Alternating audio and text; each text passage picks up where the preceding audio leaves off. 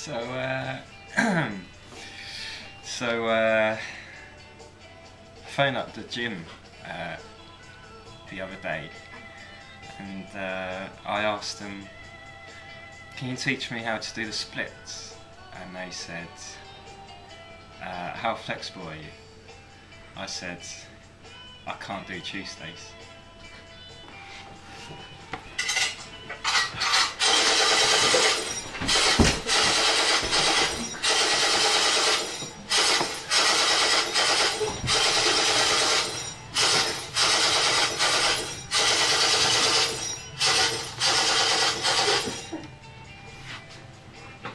All right.